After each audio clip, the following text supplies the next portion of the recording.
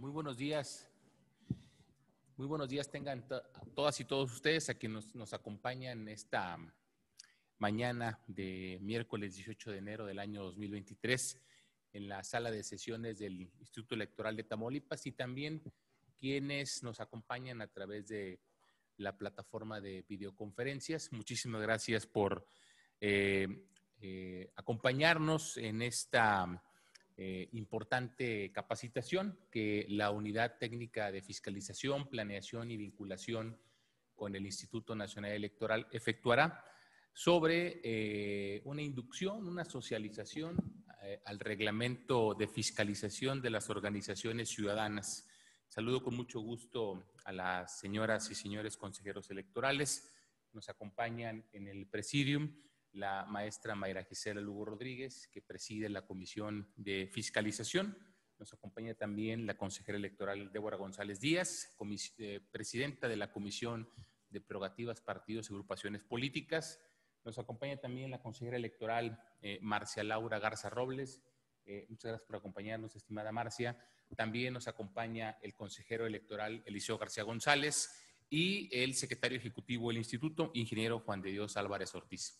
Eh, aunque no están a cuadro, sí quiero agradecer eh, eh, todo el esfuerzo, la dedicación, el esmero con el que se ha preparado este curso de socialización a la titular de la unidad técnica de fiscalización, la maestra Isabel Tobar. De la, Isabel Tobar, muchas gracias, estimada Isabel, por el empeño a ti y a tu equipo de trabajo. Muchas gracias.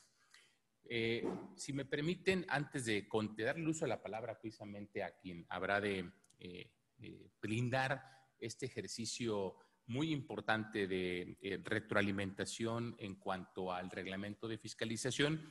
Quisiera muy rápidamente hacer uso de la palabra para comentarles que, como bien sabemos, las organizaciones ciudadanas eh, que pretendan constituirse como partido político local para obtener su registro deben informar ese propósito al Consejo General de este instituto como lo marca la normatividad, en enero del año siguiente al de la elección a la gubernatura del Estado. En tal sentido, actualmente están transcurriendo el plazo legal para que quienes así lo deseen y, por supuesto, reúnan los requisitos establecidos, ejerzan este derecho, el de formar, el de constituir nuevos partidos políticos locales. Eh, asimismo, la Ley General de Partidos establece que tratándose eh, de partidos eh, políticos locales, a partir del momento en el que se presente la notificación de intención ante el Instituto Electoral de Tamaulipas y hasta la resolución sobre la procedencia, en su caso, eh, las organizaciones ciudadanas deberán informar mensualmente sobre el origen y el destino de sus recursos dentro de los 10 primeros días de cada mes. A fin de atender dicho mandamiento, el pasado 14 de diciembre del año 2022, el Consejo General del Instituto Electoral de Tamaulipas aprobamos el reglamento para la fiscalización de los recursos de las organizaciones ciudadanas que pretenden obtener el registro como partido político local. Instrumento este que abroga el que estuvo vigente desde el 31 de agosto del año 2017.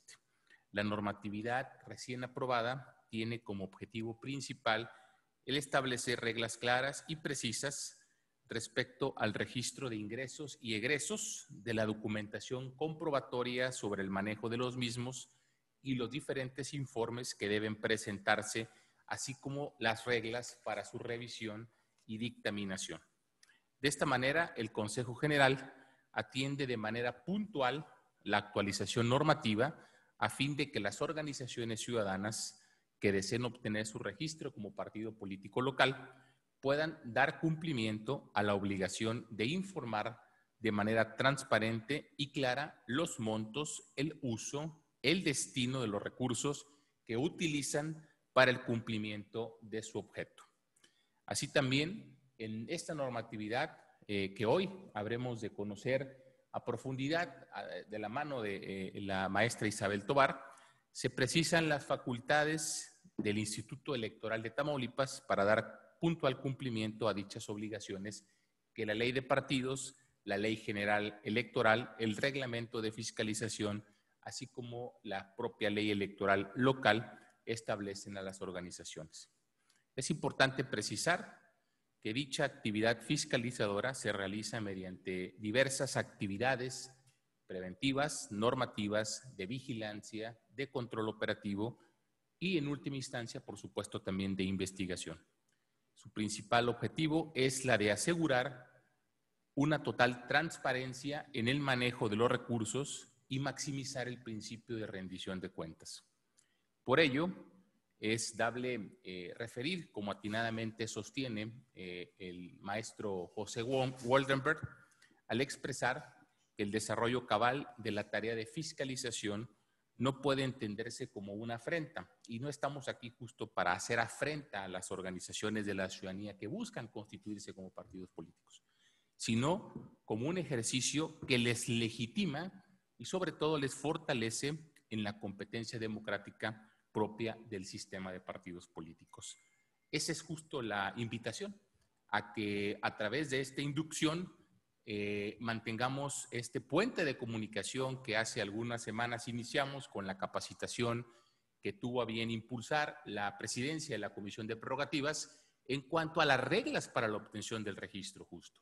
Hoy se complementa esta capacitación, creo que de manera muy virtuosa, con las reglas que son aplicables al origen y destino de los recursos que obtengan las eh, organizaciones eh, de la sociedad civil. Agradezco, por supuesto, a la Comisión Especial de Fiscalización, que, que, encabeza la maestra eh, Mayra Gisela Lugo Rodríguez, por supuesto también a la titular de la Unidad de Fiscalización, Planeación y Vinculación, maestra Isabel Tobar de la Fuente, su amplia disposición para socializar este importante instrumento normativo, lo que sin duda contribuye en gran medida a fortalecer y dibujar un mejor panorama respecto al cumplimiento eh, normativo. Por lo anterior, eh, señoras y señores, quienes nos acompañan de manera virtual, muchísimas gracias. Ojalá que a través de la herramienta de chat de la propia videoconferencia puedan ustedes compartirnos los datos de eh, las instituciones u organizaciones a quienes representan. Y por supuesto, creo que ya la maestra Isabel establecerá algunas reglas afecto de que pueda ser lo más interactivo posible este ejercicio, insisto, de socialización que es muy importante. De tal suerte que muchas gracias, señoras, señores consejeros, señor secretario. Muchas gracias y, por supuesto, doy el uso de la palabra a la maestra Isabel Tobar. Muchas gracias.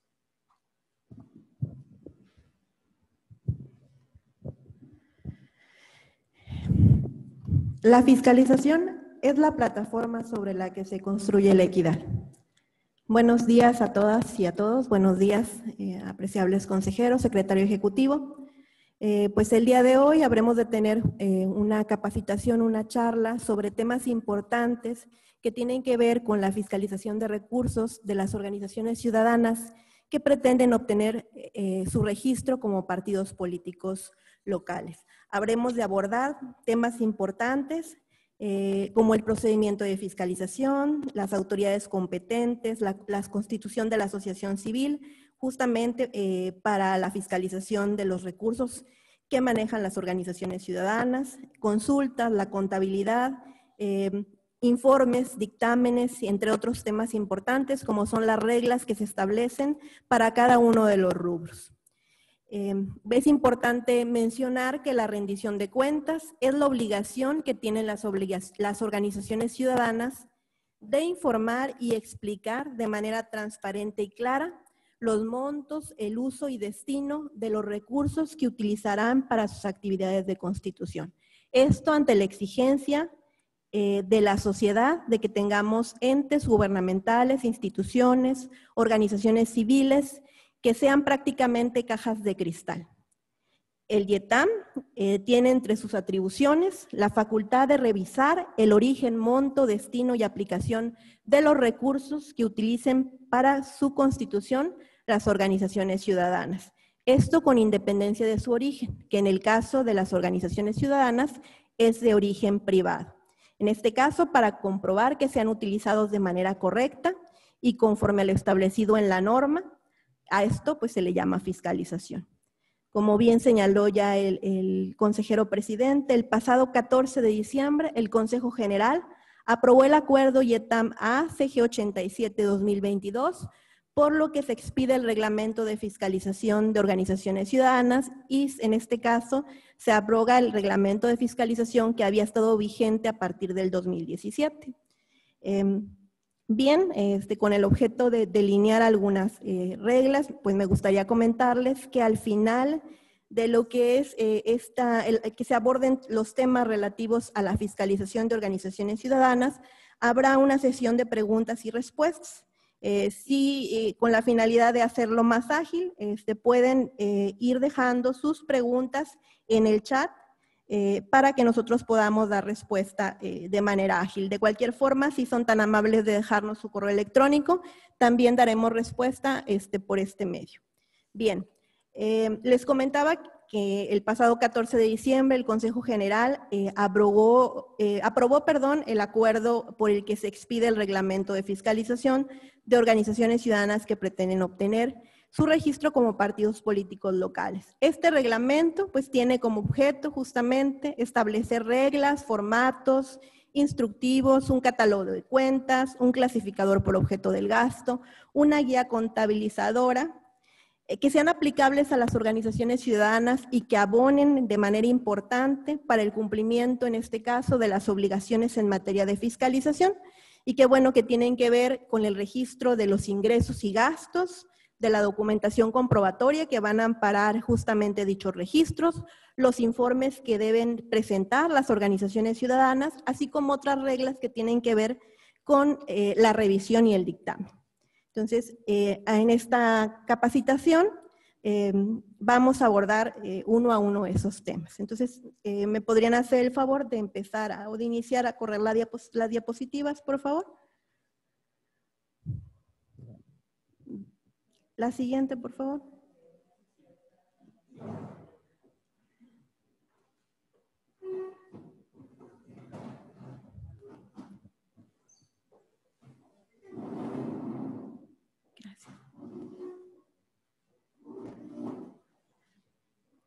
Bien, este, iniciaremos eh, con lo que es lo relativo al procedimiento de fiscalización. El procedimiento de fiscalización, como, como bien señala nuestro reglamento en el artículo 4, es, es, un procedimiento que comprende el ejercicio de determinadas funciones que tiene que ver con la comprobación, la investigación, la vigilancia, el asesoramiento, que es muy importante porque empieza a partir del día, del día de hoy, eh, la inspección y la vigilancia todas estas funciones tienen como objeto, en este caso, verificar la veracidad de las operaciones que registren, en este caso, o que reporten las organizaciones ciudadanas. Así, obviamente, con el cumplimiento de obligaciones que en materia de fiscalización y de gasto tienen las mismas. Entonces, eh, esto es referente al procedimiento de fiscalización. Bueno, y prácticamente, como señalo, el procedimiento de fiscalización es un ciclo que da inicio este, en este caso, con las capacitaciones y el asesoramiento y terminan justamente con la emisión de un dictamen. O en este caso, de dos dictámenes. ¿Podemos ir a la siguiente diapositiva, por favor? Bien, eh, este tema es muy importante. Es decir, eh, en este caso, el, propio reglamento en su artículo 3 señala quiénes son las autoridades este, que, son, en materia de fiscalización y qué atribuciones tiene. Primeramente, aquí se plasman las, las más importantes. La, en caso del Consejo General, su atribución pues, más importante en, en materia de fiscalización será la de discutir y en su caso modificar o aprobar el dictamen consolidado de los procedimientos derivados de la fiscalización. En este caso, este dictamen lo pondrá a consideración la Comisión de Fiscalización. Bien, eh, eh, en cuanto a la comisión de fiscalización, eh, la comisión tendrá a su cargo una labor muy importante, que es la supervisión, seguimiento y control técnico en materia de fiscalización, y esto prácticamente lo hará a través de la unidad de fiscalización. Como, como también señalaba, otra de las atribuciones importantes es la de proponer al Consejo General, pues en los plazos que establece el propio reglamento, los proyectos de dictamen emitidos con relación a los informes que presentan las propias organizaciones, así como resolver las consultas que formulen las organizaciones que pretendan obtener su registro como partido político. En razón de las consultas, hay un procedimiento específico que más adelante habremos de abordar. En lo referente a la unidad de fiscalización, pues una de las atribuciones más importantes es la, la recepción y revisión integral de informes que presentan las organizaciones ciudadanas respecto de su origen, destino y monto de los recursos que reciben.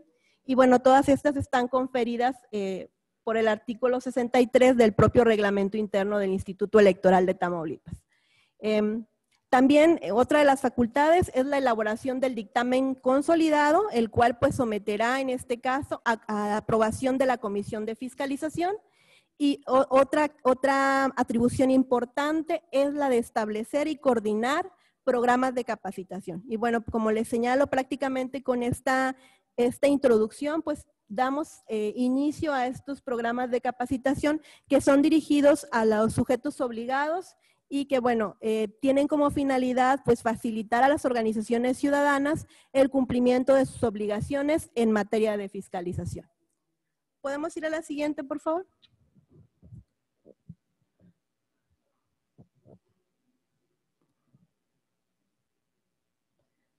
Bien, em, en lo relativo a la constitución de la asociación civil, aquí es importante señalar que el título tercero del régimen de personas morales con fines no lucrativos de la ley del impuesto sobre la renta contempla justamente la constitución de asociaciones o sociedades civiles eh, con fines políticos. Y, en ese sentido, para una correcta fiscalización, pues las organizaciones eh, ciudadanas habrán de constituir una asociación civil Em, esto eh, también deberán efectuar su alta en lo que es el Servicio de Administración Tributaria SAT, esto justamente para que puedan cumplir con las obligaciones fiscales y hacendarias correspondientes. Tiene que ver mucho con lo que es la comprobación este, en este caso, de los gastos que efectúen, que deberán, pues obviamente, comprobarse con comprobantes que reúnan los requisitos fiscales que señala la ley. Entonces, eh, es por eso necesario el alta ante el Servicio de Administración Tributaria.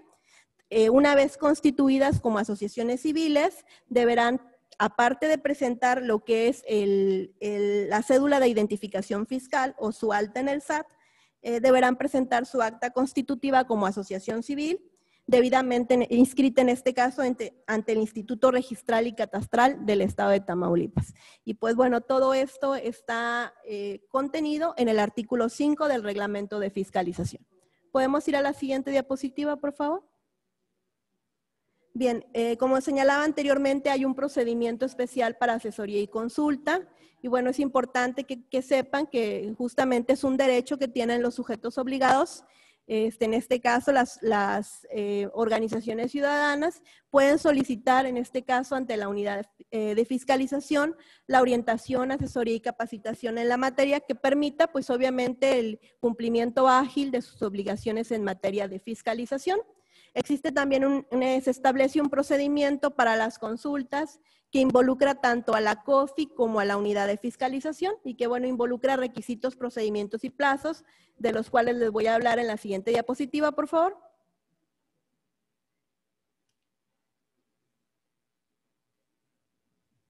La siguiente. Muy bien. Estos son los requisitos que señala el reglamento, este, a los que habrán de apegarse las consultas que realizan las organizaciones ciudadanas, pues estas consultas pueden versar sobre temas obviamente de que las, de lo que las organizaciones tengan duda, y bueno, deberán señalar el nombre de la persona que lo solicita, su personalidad, la personalidad que ostenta y el domicilio para recibir la notificación. También el fundamento legal y su motivación que está contenido prácticamente en el artículo del artículo 26 al artículo 32 del reglamento de fiscalización, así como el contenido de la consulta y la firma autógrafa. Estos son los requisitos que habrán de, contener, en este caso los documentos por los que se realiza la consulta. Si eh, recibida la, consulta, la unidad de fiscalización advierte que este, no cumple con los requisitos, entonces la organización ciudadana tendrá un plazo de tres días para subsanar este, eh, dicho, dicho, este, dichos faltantes Y bueno, en caso contrario, pues si no lo hiciere, pues se hará del conocimiento de la organización que se dará respuesta con los elementos que se tienen. La resolución de la consulta, pues prácticamente tiene un plazo, en este caso la unidad y la comisión de fiscalización, no mayor a 10 días hábiles para dar respuesta a la, a la solicitud de consulta. Y bueno, aquí es importante porque la unidad de fiscalización dará respuesta aquellas consultas que eh, versen sobre aspectos de carácter técnico, operativos o contables. Y en este caso, en caso de que eh, tenga algún criterio de interpretación, este será la unidad de fiscalización quien interprete dichos criterios y dé respuesta, en este caso, a la consulta y a la organización ciudadana. ¿Podemos ir a la siguiente diapositiva, por favor? Bien, eh, respecto al tema de la contabilidad, que en este caso el reglamento de fiscalización también aborda, pues es importante aquí señalar que las organizaciones ciudadanas pues deberán contar con un responsable financiero y que esté debidamente acreditado. ¿no? Este responsable financiero tendrá dentro de sus atribuciones la de administrar pues, la totalidad de los recursos con los que cuente la organización ciudadana, la de presentar los informes mensuales y también la de atender cualquier requerimiento de información y en este caso la de presentar el escrito de aclaraciones.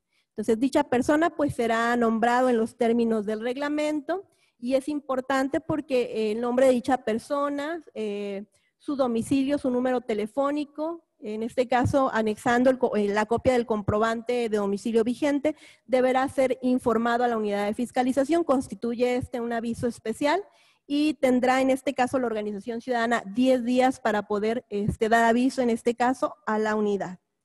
Entonces, eh, podemos ir a la siguiente diapositiva. Otros de los aspectos que, refiere el propio reglamento en relación a la contabilidad y que son muy importantes, pues es justamente la obligación de utilizar un sistema contable que permita generar eh, saldos financieros conforme a las normas de información financiera, entonces, este, esta, la contabilidad pues debería estar apegada a lo que son el catálogo de cuentas, la guía contabilizadora, el clasificador por objeto del gasto, que son ya parte integrante del propio reglamento de fiscalización. Pues la contabilidad debe cumplir con ciertos requisitos que prácticamente se registra en base a lo de vengado. Tiene que ser acumulable, analítica, reconoce tanto operaciones contables como eventos contables, transformaciones internas que pudieran este, afectar a la propia organización. Los, registros deberán ser analíticos y pues tienen que registrarse en el mes de calendario que corresponda, esto con la finalidad de cumplir con el periodo, eh, con el principio de periodo, el postulado básico de periodo contable. Y este, deberá llevarse la contabilidad en el domicilio fiscal correspondiente, que este es el domicilio este, dado de alta ante el SAT, y deberá de llevarse a partir del mes en que se presente la notificación de intención. Entonces, estas son las prácticamente las obligaciones que señala el, propio reglamento en materia este, de contabilidad. Em, en este caso, eh, es importante también definir el momento contable en el que habrán de registrarse las operaciones. Y bueno, en el caso de los ingresos, pues estos se registran cuando se reciben, en el caso de los gastos, cuando se pactan, o cuando se recibe la, contraprestación, eh, cuando se recibe, perdón, el bien o servicio producto de la contraprestación. Entonces, esto, esto es importante en materia de registro para cumplir justamente con el principio de periodo contable, que es decir, que los gastos deberán registrarse en el mes en que corresponda. Señala también la obligación de soportar los gastos con documentación que cumpla los requisitos fiscales. Esto pues eh, en base a lo que es el artículo 29 y 29A del Código Fiscal de, este, la Federación y señala importantes criterios de evaluación que tiene que ver este, justamente con que los criterios de evaluación se sustentan sobre bases objetivas.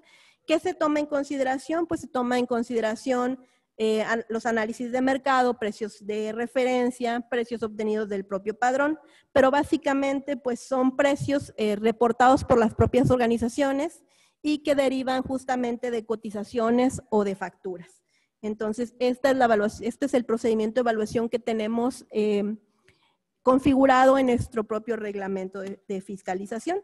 Y pues bueno, como ya señalé, la comprobación de los gastos deberá este, realizarse y deberá cumplirse lo señalado en el Código Fiscal de la Federación, es decir, deberán reunir requisitos fiscales, con las excepciones de las que señala el propio reglamento.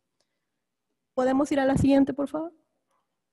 Bien, ahora vamos a ver eh, de, este, algunas reglas, vamos a ver este, de manera ágil, pero espero que sea muy claro. Igual y podemos ir a la siguiente, por favor, que son reglas por rubro. Y las primeras reglas que vamos a ver son las relativas a las cuentas de activo. Y bueno, en particular a las cuentas de bancos, es decir, qué requisitos tiene que cumplir las cuentas bancarias. Entonces, eso es muy importante porque pues obviamente al iniciar el proceso, de constitución, pues obviamente van a incurrir en gastos, entonces es importante que eh, desde el principio eh, cumplan con lo que son las, las, reglas por rubro, las reglas de fiscalización para que no incurran en, infracciones. ¿no? Entonces la primera es que las, las cuentas bancarias tendrán que ser de la titularidad, en este caso de la asociación civil, eh, constituida por la organización ciudadana, y deberán de contar con autorización pues, del responsable de finanzas en este caso, se eh, establece la obligación de, manejar dos firmas que sean mancomunadas, en, donde una de ellas preferentemente será la del responsable de finanzas o tendrá el visto bueno este, del responsable de finanzas. Entonces, estas son reglas para la cuenta de bancos, pues estas cuentas tienen que estar identificadas en los registros contables y viene ahí la sigla que vamos a utilizar y bueno, es importante que los ingresos que se obtengan por la organización ciudadana, que serán ingresos de índole privado, pues se depositen eh, únicamente en la cuenta aperturada para eh, recibir aportaciones y obviamente que los egresos este, que se realicen, pues obviamente también que salgan de esta cuenta bancaria. Y que bueno, que los egresos también que se registren, pues eh, tengan como principal motivo justamente es el de contribuir a los actos tendentes a la obtención del registro como partido político local. ¿Podemos ir a la siguiente, por favor? Bien, otra de las reglas que tenemos también para eh, la cuenta de bancos es justamente, pues dispone también que se lleven auxiliares contables en lo que es bancos. Ya el propio este catálogo de cuentas está diseñado para que así sea. También, pues obviamente es importante que estas cuentas bancarias se mantengan conciliadas, es decir, que mensualmente, mes tras mes, em, se concilien en este caso eh, los estados de cuenta contra los registros contables. Eh, de hecho, estas propias conciliaciones bancarias serán eh, un anexo de los informes que deberán presentar las organizaciones ciudadanas. como señalo también, hay una obligación solamente en caso de que haya partidas que no estén conciliadas y que excedan los seis meses, que se encuentren seis meses en conciliación. En este caso, pues la organización ciudadana estará obligada, en este caso, a presentar una relación detallada y a justificar por qué, en este caso, estos importes eh, aparecen como importes no conciliados. Em, también, pues, eh, señala el reglamento, y esto es muy importante, que la unidad em, técnica de fiscalización del Instituto Nacional Electoral será el conducto para superar el secreto bancario, fiduciario y fiscal.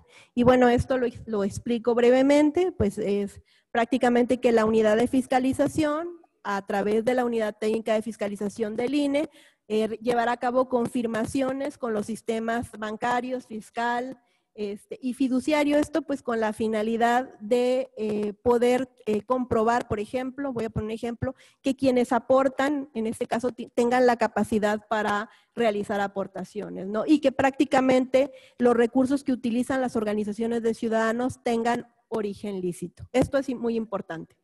¿Podemos ir a la siguiente diapositiva, por favor? Bien, otra de, las, de los rubros eh, que podrán manejar lo que son las organizaciones ciudadanas son las inversiones temporales.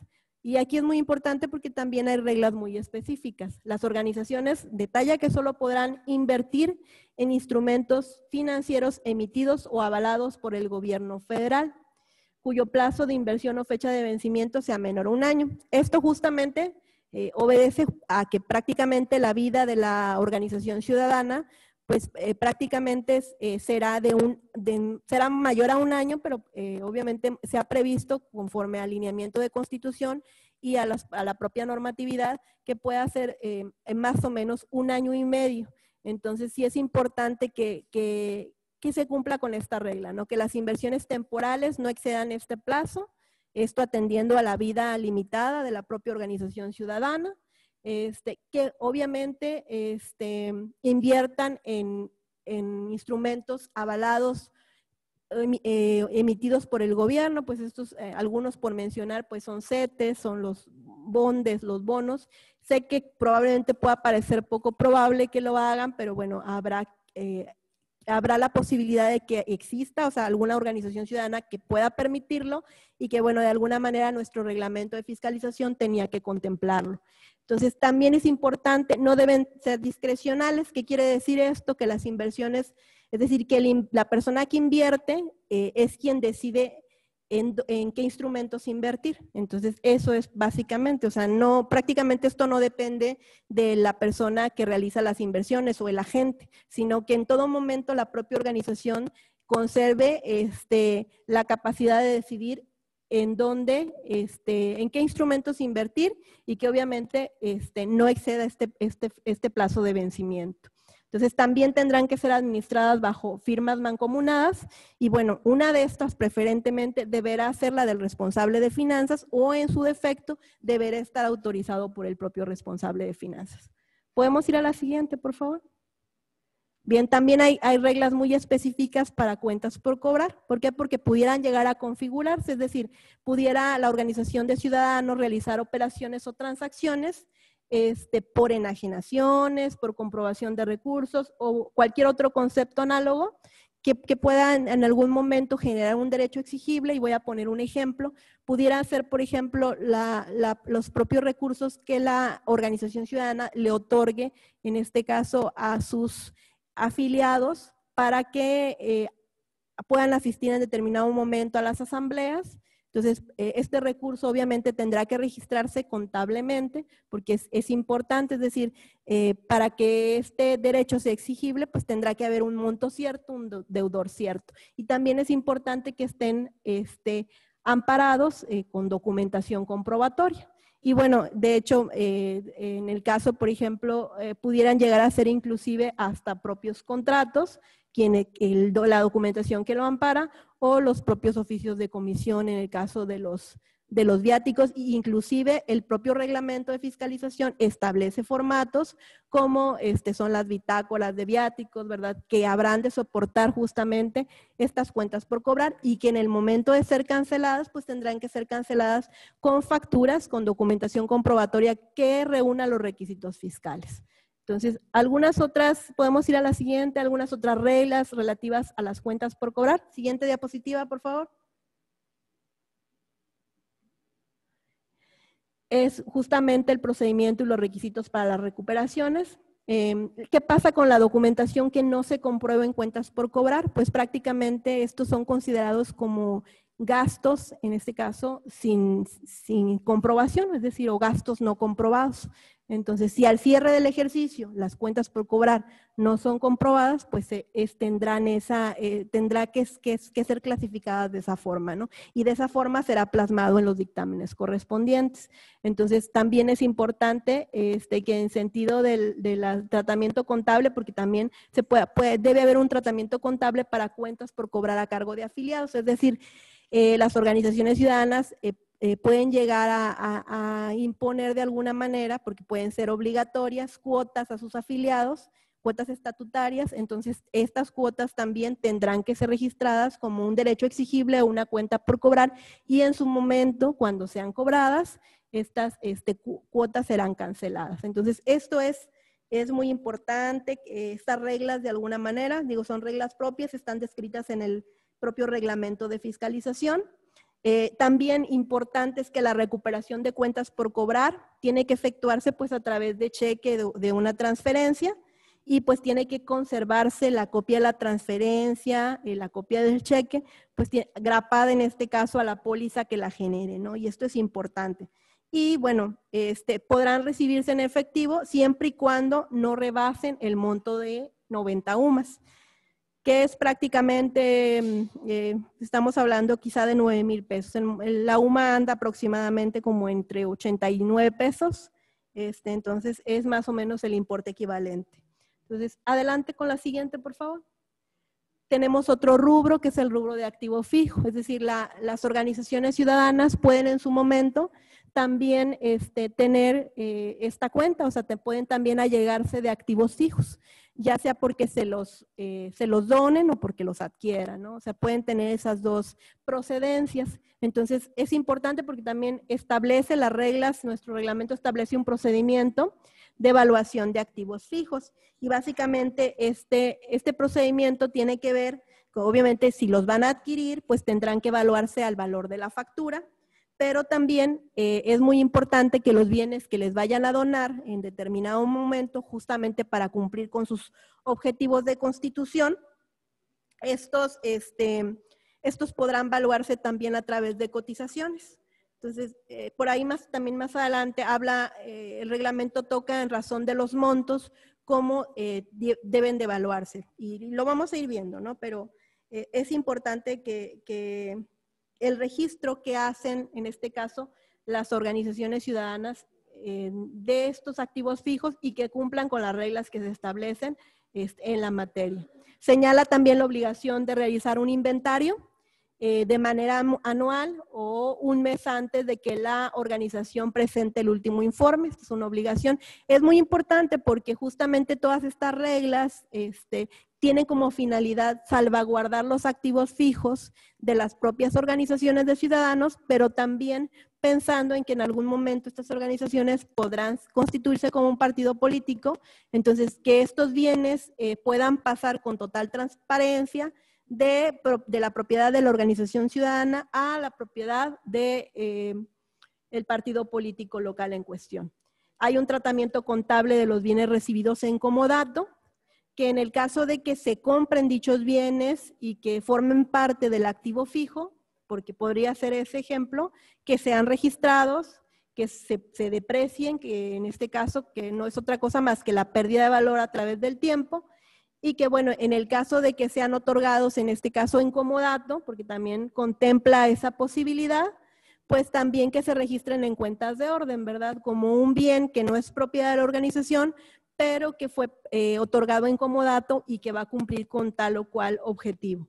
Hay un procedimiento de baja también para los activos fijos que tiene que ver eh, que eh, prácticamente solamente podrán darse de baja por dos motivos, que uno de ellos es la obsolescencia, es decir, que el bien prácticamente haya perdido este, su valor, que haya perdido su función, y también el caso de que el bien esté siniestrado. Y en ambos casos, pues deberán dar aviso a la unidad de fiscalización para que se haga una revisión física y bueno, como les comento y señalo, remarco, estas reglas tienen como finalidad eh, justamente salvaguardar los activos fijos que en primera instancia serían propiedad de la organización de ciudadanos y que en una segunda instancia pues serían, eh, pasarían a formar parte del patrimonio, en este caso, de un, este, del partido político que se constituya.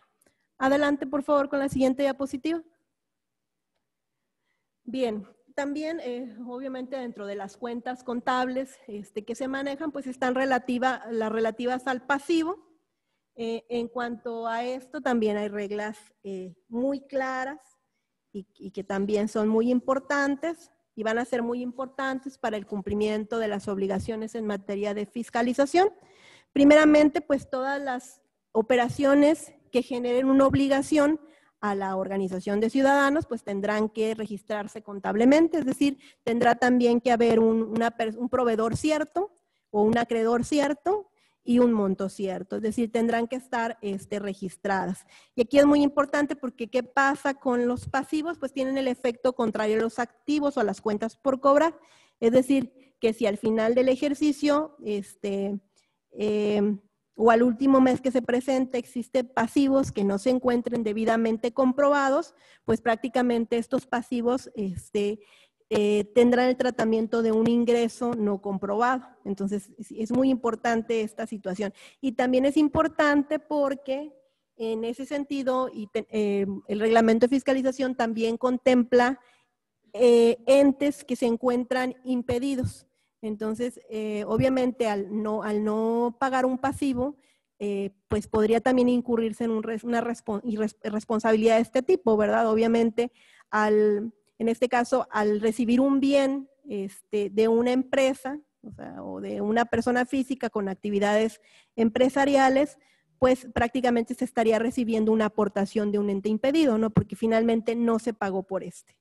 Entonces, estas reglas son también muy importantes, como la, obligación de tener una relación de proveedores. Obviamente también en cuanto a las contribuciones por pagar, porque en este caso eh, las organizaciones de ciudadanos también deberán dar cumplimiento a cierto tipo de obligaciones fiscales en caso de que incurran en ellas, ¿verdad? Y por ejemplo, en el caso de que este, contraten personal y, este, y sea pues prácticamente en la modalidad, por ejemplo, de sueldos, tendrán que efectuar las retenciones de las contribuciones correspondientes. En caso de que no lo hagan, pues el propio instituto este, tendrá en este caso eh, la facultad de dar vista a las autoridades correspondientes. Y bueno, aquí es importante, ¿verdad? Porque el, eh, de hecho el reglamento contempla en caso de, de servicios personales, que más adelante lo vamos a ver, pues obviamente contempla la posibilidad de que hagan contrataciones y de que tengan que timbrar recibos de sueldos para poder comprobar los recursos, pero también contempla este, reconocimientos por actividades políticas que vamos a, ver más adelante un poquito más a detalle. Pero bueno, eh, ¿podemos ir a la siguiente, por favor?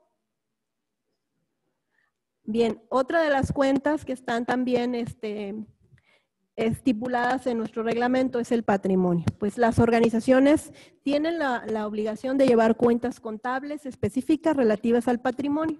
Entonces, eh, en este caso ya el, catálogo de cuentas ya detalla qué cuentas deberán utilizarse y la guía contabilizadora pues le señala eh, específicamente en qué casos deberá utilizarse cada cuenta. Eh, bueno, pues prácticamente el patrimonio de la, de la, en este caso de la organización, Está integrado por todos los activos fijos que son propiedad de la organización, los derechos que, tuviera, que pueden ser los derechos exigibles, los relativos a las cuentas por cobrar, todas las aportaciones que recibe, menos obviamente todos los pasivos este, en los que incurra, las deudas que contraiga, las multas firmes que queden pendientes de pago. Entonces, todo esto constituirá el patrimonio este, de la organización ciudadana. Todo esto está estipulado en los artículos 77 y 78 del reglamento de fiscalización. Adelante con la siguiente, por favor. Bien, eh, ahora bien, vamos a ir a lo, que son cuentas de ingresos y aquí es muy importante eh, porque pues a partir de aquí las organizaciones o los interesados en este caso pues sabrán cuáles son los ingresos que puede eh, recibir la organización de ciudadanos. ¿Cuáles son los ingresos? Pues primeramente tengo que decirles que son eh, ingresos de origen privado. En este caso, pues pueden ser aportaciones o cuotas individuales y obligatorias, como ya lo había señalado, ordinarias y extraordinarias, en dinero o en especies, importante, que realicen las personas afiliadas. En este caso, estas serán las cuotas estatutarias y que pueden tener estas características. Es decir, que como les señale, pueden ser obligatorias, pueden este, ser individuales, este, ordinarias o extraordinarias. También pues habrán de poder recibir ingresos, aportaciones voluntarias y personales, pues de personas simpatizantes. Este, y estará conformado por los donativos que reciban en dinero o en especie. Aquí es muy importante, en, estas, en estos dos casos, principalmente en, las aportaciones de simpatizantes, que eh, remarque que hay entes impedidos. Más adelante los vamos a ver, pero hay personas que no pueden realizar aportaciones, es decir, las propias organizaciones están impedidas para recibir ese tipo de aportaciones y obviamente el recibirlas pues constituye una infracción. El autofinanciamiento, que lo vamos también a ver eh, en particular adelante, y el financiamiento por rendimientos financieros, es decir, el financiamiento que generen o que provenga este, del manejo de las cuentas bancarias y en su momento de lo que son las este, inversiones temporales. Aquí es muy importante que todos los ingresos que tenga la organización, todos los ingresos que reciba, tienen que ser destinados al cumplimiento eh, de los objetivos de la organización. No pueden destinarse a algo diferente. Tienen que estar sustentados con la documentación comprobatoria. también vamos a ver cuál es, cuál es esa documentación deben ser reconocidos y deben estar registrados en la contabilidad conforme a lo establecido en, las leyes en la materia y en el propio reglamento. Adelante, por favor. Ahora bien, tenemos ciertas prohibiciones o obligaciones respecto a los ingresos. Primeramente, los como lo señalé ya, tendrán que estar registrados contablemente. Todos los ingresos deberán que estar registrados y soportados. En el caso del soporte, pues el propio reglamento contempla ciertos recibos que habrán de adjuntarse a cada una de las pólizas, pero también este, tendrán este, que adjuntar determinada documentación. Y ahorita lo vamos a, ver eh, en razón del tipo de este, financiamiento o del tipo de aportaciones que reciba la propia organización. Es importante también porque las organizaciones ciudadanas tienen también una limitante, es decir, solamente pueden obtener financiamiento de instituciones de crédito y de sociedades eh, financieras de, de objeto múltiple. Decir, no pueden obtener financiamiento de la banca del desarrollo. Esto es también muy importante. Hablo de los eh, ejemplos de sociedades financieras de objeto múltiple, Banorte, Banamex, este, todo lo que es la banca comercial.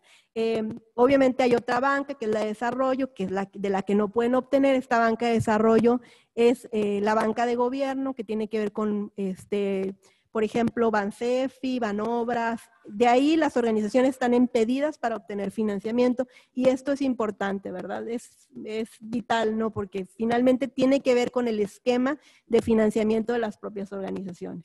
No se pueden suscribir contratos de mutuo, ¿verdad? Que son prácticamente aquellos por los que otorgo o por los que la organización recibiría un bien o, o dinero en efectivo y, tendría, y se obligaría a regresarlo. Entonces, esto también está prohibido no pueden eh, recibir tampoco financiamiento por concepto de préstamos personales. Y esto también es importante. O sea, sí pueden recibirlo eh, de parte de sus simpatizantes, pero no como un préstamo personal. ¿sí?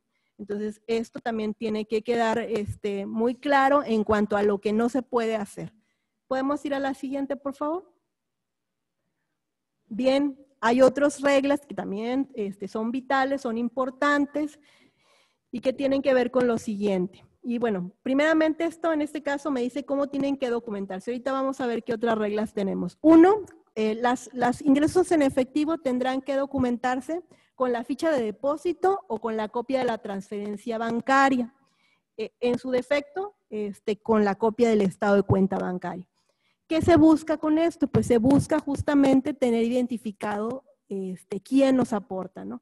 Finalmente, tanto en la ficha de depósito, bueno, la ficha de depósito es, tiene otras situaciones, pero en la copia de la transferencia generalmente sí podemos este, saber quién nos aporta. Eh, el recibo de aportaciones de afiliados o simpatizantes.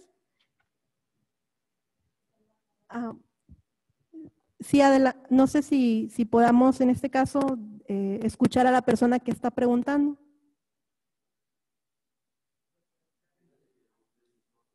¿Puedes bloquear el micrófono, por favor? Señor José Oscar Enríquez. Sí, no, lo que pasa es que estaba intentando entrar, batallé un poquito, pero bueno, ya estamos aquí. Buenos días. Ah, ah, ok, bienvenido. Gracias. Bien, pues vamos entonces a continuar. Este, ¿Puede cerrar el micrófono, por favor? Señor José, gracias, muy amable. Bien, este, también por ahí, eh, ¿cómo estábamos viendo cómo, está, cómo se soportan los ingresos en efectivo, pues ya dijimos que con el original de la ficha de depósito, el comprobante de transferencia, este, en este caso el recibo de aportaciones de afiliados o simpatizantes, que dichos formatos están contemplados en los propios formatos que establece el reglamento. Em, Importante también porque aquellos ingresos que, deriven de actividades de autofinanciamiento, aquí adelantito vamos a ver qué es el autofinanciamiento, además de la ficha de depósito tiene un control específico, este, y bueno, en este caso eh, tienen que estar documentados, ¿no? Con este control específico que prácticamente es un control que se lleva por evento, ¿no? Por evento de autofinanciamiento. Pero ahorita que hablemos del autofinanciamiento, mm, eh, se van a dar cuenta a qué me refiero. ¿Podemos ir a la siguiente diapositiva, por favor? Bien, estas son reglas eh, también eh, muy importantes, que en este caso tiene que ver, y nos señala por ahí el reglamento, que las aportaciones realizadas a las diversas cuentas que manejen las organizaciones que excedan de 90 UMAS, deberán realizarse única y exclusivamente mediante cheque expedido a nombre de la organización con la leyenda para bono en cuenta. Es decir, bueno, con esto tenemos claro que no se puede, eh, que por arriba de 90 UMAS no podemos recibir, en este caso, aportaciones en efectivo y que tenemos que tener claro que todas las aportaciones que se reciban deberán ingresar a las cuentas bancarias, a la cuenta bancaria de la propia organización. Entonces, en el caso de que excedan estas 90 UMAS, tendrán que este, realizarse mediante cheque para bono en cuenta, que tendrá que ser expedido a nombre de la organización de ciudadanos para que pueda depositarse en la cuenta propia y en este caso que tendrá que contener la leyenda para bono en cuenta del beneficiario. Y que bueno, otra de los, de los medios en los que pueden realizarse estas aportaciones que superen los 90 UMAS es eh, justamente mediante una transferencia bancaria, un SPAY. En este SPAY, pues obviamente aparece, eh, es una, aparece la clave bancaria estandarizada, que es la cuenta clave. Eh, y bueno, invariablemente aparece el RFC o la CURP, en este caso, de quien en este caso está haciendo la transferencia. ¿Qué se busca con esto? Pues con esto se busca justamente este, saber en todo momento, tener bien identificado quién es el que está aportando. Y bueno, esto tiene que ver porque como les comentaba, les señalaba, hay entes que se encuentran impedidos para realizar aportaciones. Entonces, a partir de ahí, pues eh, será importante que obviamente cumplan con estas disposiciones para que este, no, no tenga ningún este, incumplimiento en materia de fiscalización. Y bueno, aquí es importante también en el supuesto de que el periodo de 30 días, pues se realicen, que en un periodo de 30 días se reciban aportaciones eh, que provengan de un mismo aportante, pues estas se acumulan, es decir, no las pueden fraccionar y decir, bueno, voy a hacer este, para hacer este, no incumplir esta regla, pues voy a hacer dos, este, dos aportaciones por la mitad, no sé, de las de, por ejemplo, voy a, voy a hacer una aportación de 10 mil pesos, para no incumplir esta regla de las 90 UMAS, la fracciono. Entonces, esto no se puede, es decir, se acumulan. Si en un periodo de 30 días eh, detectamos que haya o que, que, que, se observe que hay un aportante y que, estas, que es un solo aportante y que este solo aportante realiza aportaciones por más de 90 UMAS en este solo periodo, pues en este caso este, estarán eh, incumpliendo, ¿no? Y bueno, estarán, tiene que estar sujeta las, este tipo de aportaciones a las reglas que ya establece este propio reglamento. Entonces, sí es muy, es, es vital, vaya, que tengan esto, esto en consideración, porque es una de las reglas principales y prácticamente este, aplica en este caso para los ingresos y vamos a ver cómo más adelante también aplica para los egresos. Entonces, es el mismo límite prácticamente, entonces tenemos que tener en el mapa lo que no se puede hacer. Entonces, ¿podemos ir a la siguiente, por favor? Bien. Hasta aquí pues hablamos de lo que fueron los ingresos en efectivo. A partir de aquí también hablaremos de lo que se refiere a los ingresos en especie, considerando que las organizaciones de ciudadanos, aparte de recibir ingresos en efectivo, también pueden recibir ingresos en especie. Y bueno, ¿qué son o qué se consideran ingresos en especie? Primeramente, pues las donaciones de bienes muebles o inmuebles a la propia organización. Este es un ingreso en especie. El uso de los bienes muebles o inmuebles, las condonaciones de deuda a favor de la propia organización. Aquí es importante que estas eh, condonaciones de deuda o que estas aportaciones pues no vengan de un ente impedido. También los servicios prestados a título gratuito. Y en este caso, en el caso de los servicios prestados a título gratuito hay una excepción, este, porque digo, se estarían considerando como un ingreso, excepto cuáles, y aquí es muy importante, excepto aquellos que presten, por ejemplo, los órganos directivos, los servicios personales de las propias personas afiliadas o simpatizantes, pero ojo, que no tengan actividades mercantiles o profesionales y que sean otorgados de manera gratuita, voluntaria y desinteresadamente. Es decir, todo es un ingreso en especie, excepto estos, o sea, los que otorguen los propios órganos directivos, esos no serían eh, considerados en este caso esos servicios personales, por decirlo así, o esos sueldos, o esas, esas contraprestaciones que otorguen no serían, este, en este caso, em, considerados como eh, una, una, aportación en efectivo, ¿no? Porque las están otorgando eh, los propios órganos directivos y que, bueno, sí es muy importante que eh, lo hagan de manera gratuita, voluntaria y desinteresada para que no puedan ser considerados ingresos en especie. Em, y los servicios prestados a las organizaciones determinados por la unidad de fiscalización por debajo del mercado. Es decir, eh, ustedes ya, ya saben que eh, pueden comprobar en este caso los ingresos, no, no solamente con los ingresos en especie. Se pueden comprobar, por ejemplo, si la organización, algún simpatizante, vamos a suponer, le va a donar un, voy a poner un ejemplo, un, el servicio de un equipo de sonido este, para una asamblea, entonces, en este caso, vamos a suponer, tendrá que registrar la organización al valor de mercado. Es decir, tendrá que registrarlo de manera veraz. Es decir, ¿qué, ¿qué, pasaría si lo hiciera a un precio menor al considerado debajo de mercado? Pues se considera también como un ingreso en especie. Entonces, acuérdense que es importante que también la evaluación de las propias aportaciones en especie o de los ingresos en especie se realice de manera este, correcta, que sea conforme a, este, a los precios de mercado. ¿Podemos ir a la siguiente, por favor?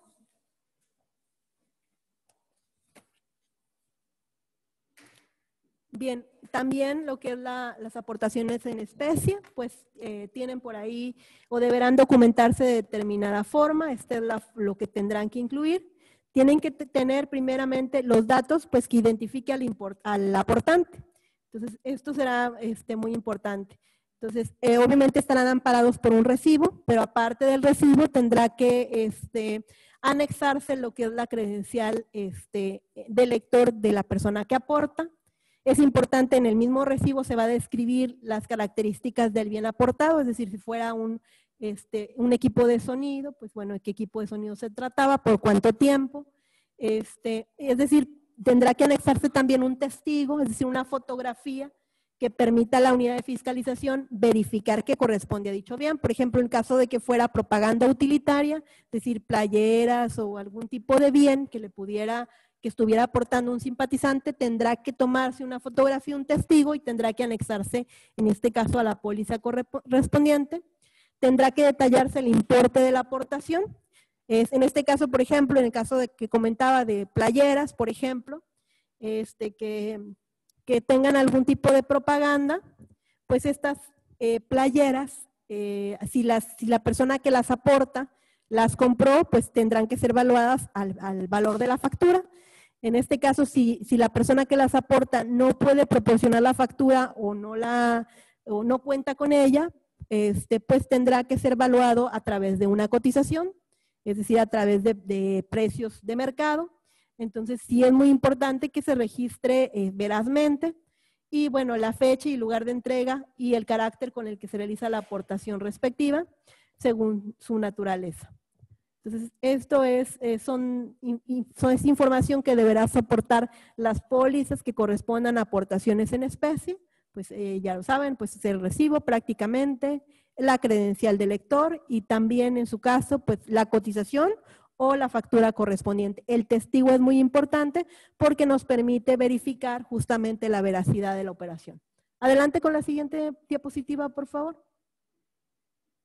Bien. Este, uno de los temas también importantes, de hecho ya lo comentaba, es la evaluación de las aportaciones de bienes muebles, porque tiene también ciertos criterios que deben de cumplirse. Primeramente, eh, el principal criterio es en cuanto al tiempo eh, de uso del bien aportado, ¿verdad? Si el tiempo de uso, es decir, el tiempo que tenga un bien, eh, y, hablo del tiempo de uso porque a lo mejor finalmente les van a aportar, voy a poner un ejemplo para hacerlo más tangible, les pueden aportar un equipo de sonido, pero lo van a aportar no el propio servicio, sino el equipo de sonido, un aportante lo está entregando a la organización. Es un activo fijo. Entonces, es un bien mueble. Entonces, obviamente tiene que registrarse como un activo fijo en la contabilidad. Adicionalmente, pues tiene que evaluarse. Es decir, si el, eh, la persona que aporta tiene una factura este, de dicho bien, pues podrá ser registrado a valor de factura. Pero muchas veces quienes aportan, pues ya tienen un tiempo con los bienes que aportan, ¿no? No cuentan con una factura. Entonces, si el bien tuviera más de un, fuera menor a un año de uso, este, y se cuenta con la factura, pues ya lo señalé, pues se registra a valor de factura. Si tuviera también más de un año, pero también se cuenta con la factura, pues se puede, eh, también se puede utilizar la factura como eh, método de evaluación. Ahora bien, si no se cuenta con la factura, y este tiene un valor aproximado menor al equivalente a mil UMAS. Este, en este caso se va a determinar a través de una sola cotización, es decir, voy a ir a, pedir a una empresa este, que me haga una cotización, este, por ejemplo, en el caso del, del equipo de sonido, que me cotice un equipo de sonido y al valor de cotización yo voy a registrar ese bien, ¿sí? ¿Por qué? Porque un equipo de sonido sabemos bien que pues no, no supera en este caso las mil UMAS. Ahora bien, si fuera un bien que si superara las mil UMAS, que fuera superior a mil UMAS, este, perdón, mayor a mil UMAS, pero menor a dos mil UMAS, entonces, ahí hay otro rango, ¿no? Si es menor a mil UMAS, es una cotización. Si, es, si el valor del bien es mayor a mil UMAS y menor a dos mil UMAS, este, en este caso se determinará a través de dos cotizaciones. ¿Qué voy a hacer? Pues voy a hacer un promedio de dos cotizaciones. Es decir, si eh, una empresa me dice que el equipo de sonido valía este, dos mil, mil pesos y la otra me dice que vale mil quinientos, yo tengo mis cotizaciones que van a ser parte integrante de mi este, eh, póliza o de mi comprobación, pues prácticamente yo haría un promedio de ambas cotizaciones y lo registraría a 1250. A lo mejor aquí no, no, no supera las mil UMAS, pero bueno, ese sería el ejemplo que yo les daría. ¿no? Obviamente el, el, monto tendría que ser superior a mil pesos, porque estamos hablando de, del equivalente a mil UMAS. Ahora bien, este, si el costo del bien aportado excede de dos mil UMAS, pues invariablemente, así lo señala el reglamento, tendrá que este, presentarse una factura. Y esto, es, esto es, un, es una regla, es un requisito en toda la donación de equipo de transporte que en determinado momento pudiera recibir la organización, pero hablo el, equipo de transporte como bien, ¿verdad? Eh, obviamente en este caso se verá contar con un contrato y una factura, porque también aquí es muy importante que pueda no recibir el bien, es decir, que solamente pueda recibir el servicio, es decir, que solamente me presten el equipo de transporte para trasladarme un día, en este caso yo tendría que registrar la aportación como una renta de un día del vehículo. Si me explico, no estaría recibiendo el bien, es decir, no estaría recibiendo el activo fijo. Y eso es importante que quede claro porque puede llegarse a dar. Entonces, eh, eh, esto es en cuanto a la evaluación. Como quiera, si en lo particular tienen dudas muy específicas respecto a este tema, y quieren acercarse o hacer algún este, llamado o mandar un correo, pues pueden hacerlo y con gusto estaremos este, resolviendo las dudas. La siguiente eh, diapositiva, por favor. Bien, hay consideraciones también especiales en los ingresos, para los ingresos en especie. Primeramente, que eh, las cotizaciones que se reciban de afiliados y simpatizantes, pues tendrán que llevar un, registro contable particular, es decir, deberán estar registrados en su cuenta contable correspondiente, así lo señala el propio catálogo de cuentas, y deberán estar eh, respaldados con los formatos que señala el propio reglamento. En este caso, los ingresos por donaciones de bienes inmuebles, este, ya habíamos comentado cuáles son las reglas de evaluación, pues tienen que registrarse como conforme, en este caso, en el, en el caso de los inmuebles, es decir, en caso de que reciban en donación, digo, puede escucharse poco probable, pero puede ser que suceda, un edificio eh, o una casa y que se esté donando a la propia organización, pues esta tendrá que registrarse conforme al valor comercial que se registra en la, en la escritura pública o conforme a un avalúo emitido por perito valuador en la materia. Entonces, solamente cuando se refiere a bienes inmuebles. Entonces, es importante, por ejemplo, los bienes que se reciban en comodato, las organizaciones de ciudadanos tendrán que formalizarlos a través de contratos. Esas son algunas de las reglas específicas. Sé que puede parecer poco improbable que les donen un edificio, pero sin embargo, pues existe una regla que lo contempla el propio reglamento por si en determinado momento llegase a darse. ¿no?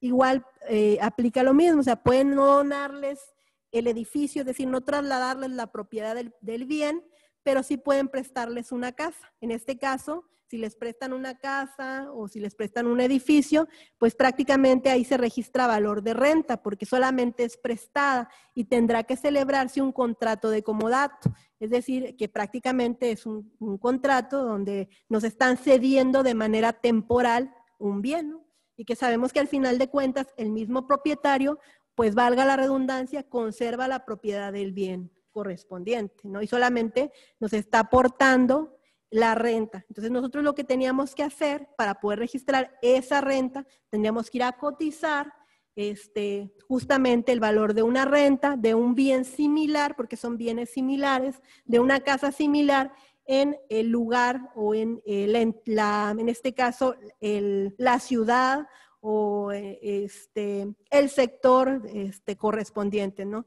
Tendríamos que buscar un, un, un valor, una cotización de un bien similar, dependiendo del, específicamente del lugar donde esté ese bien ubicado, ¿no? Entonces, y eso se tiene que considerar a la hora de solicitar las cotizaciones. ¿Podemos ir a la siguiente, por favor?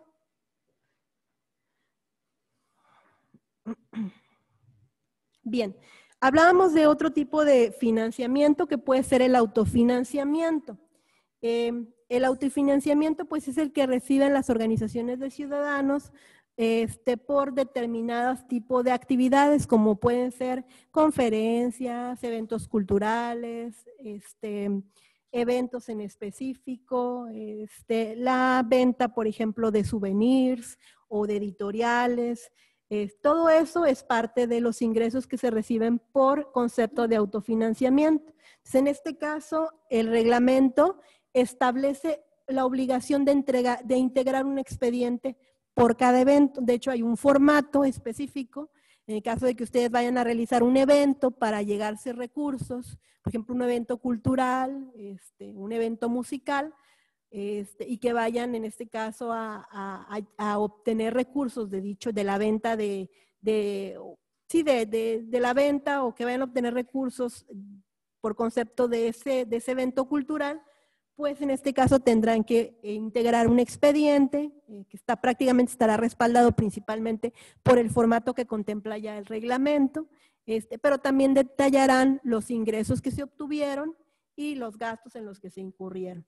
También dispone reglas porque otra parte de este autofinanciamiento eh, son los juegos como rifas y sorteos. Entonces también eh, contempla reglas muy específicas de integración de expedientes para este tipo de, eventos, ¿verdad? Que tiene, que tiene ciertas, este, que tiene que cumplir con ciertas circunstancias. Les voy a comentar algunas. Eh, pues obviamente tendrá que intervenir la Secretaría de Gobernación, pero es importante, por ejemplo, en el caso de que se rife un premio, ¿verdad? Para llegarse de recursos y que al final la persona que, el ganador decida eh, que se le dé el dinero en efectivo, pues en el mismo expediente deberá de obrar un acta circunstanciada este, y el, el, oficio de petición del propio ganador, ¿no? Que es un ejemplo, por ejemplo, de las reglas que tiene, las que tiene que ajustarse quien realice este tipo de eventos por concepto de autofinanciamiento y que en particular realice eventos por concepto de rifas este, y sorteos. En caso de que se dé un premio en efectivo también, eh, si el premio excediera las 90 UMAS, pues tendrá que, eh, en este caso, el premio tendrá que otorgarse a través de un cheque nominativo este, para bono en cuenta, en este caso del ganador, o a través de una transferencia bancaria. Y bueno, con esto pues se busca justamente, porque pues obviamente la, la, en este caso la propia organización va a entregar efectivo, pues que también se identifique no solamente lo que se recibe, sino también que quede plenamente identificado aquello que este, sale de la propia organización de ciudadanos. Algo muy importante, y esto tienen que también considerarlo, es que señala la prohibición de recibir financiamiento de colectas públicas. Es decir, este, no se puede pasar una bandeja. Y esto, esto obedece justamente, eh, solicitando dinero, obviamente, obedece a que siempre eh, el esquema de financiamiento de las organizaciones, de los propios partidos políticos, pues es vigilado. Es decir, eh, tenemos que tener identificados quiénes aportan. Esto pues obviamente tiene este, un, un propósito, ¿no? Que es justamente evitar que llegue a las organizaciones de ciudadanos este, que en su momento habrán de convertirse en, partidos políticos, pues origen, eh, perdón, recurso de origen ilícito. Y es decir, es uno de los objetivos que tiene la fiscalización justamente y que busca la propia, el propio Consejo General, la propia Comisión de Fiscalización, que es verificar justamente que los recursos que utilicen las organizaciones de ciudadanos tengan origen lícito. ¿Podemos ir a la siguiente, por favor? Les comentaba yo también que hay entes que se encuentran impedidos para realizar aportaciones a las organizaciones ciudadanas. ¿Quiénes son estos entes impedidos? Pues obviamente no se puede recibir recursos del gobierno, de los poderes ejecutivo, legislativo, judicial, del Estado, de los ayuntamientos, tampoco de, organismos públicos descentralizados, estatales o federales, municipales, de la administración centralizada o descentralizada, tampoco de organismos autónomos estatales ni federales, eh, tampoco se puede recibir recursos de personas morales, es decir, de empresas, eh, de partidos políticos, tampoco puede recibirse recursos estatales o nacionales, de eh, personas físicas, partidos políticos o personas morales extranjeras. Los extranjeros también están impedidos de organismos internacionales, es decir, de extranjeros de cualquier naturaleza, Em, de personas físicas que también vivan o trabajen en el extranjero, tampoco se pueden recibir de recursos, de asociaciones, iglesias, agrupaciones de carácter religioso, también están impedidos, de sindicatos y organizaciones gremiales.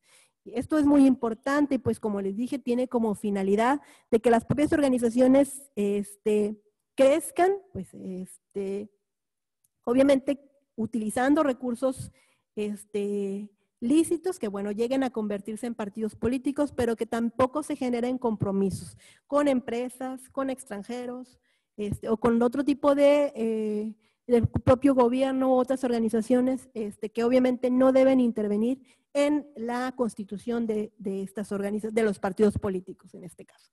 ¿Podemos ir a la siguiente, por favor?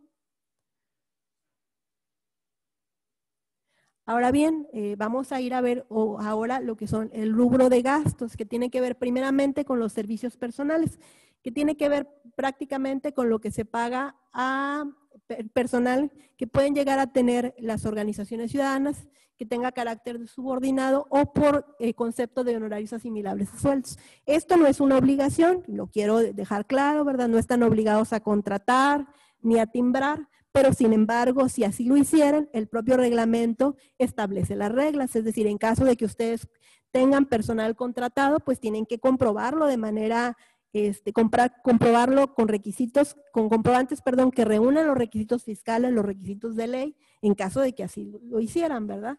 Y que, bueno, en caso de que, de que se compruebe, por ejemplo, en el caso de honorarios este, independientes, pues, y también en el caso de sueldos y de honorarios asimilables tendrán que hacerse las retenciones que señala la ley del impuesto sobre la renta y tendrán que enterarse, en este caso, Hacienda. Y esto les digo, no es una obligación, pero está en el reglamento. Si así sucediera, pues ustedes este, tendrán que seguir esta regla.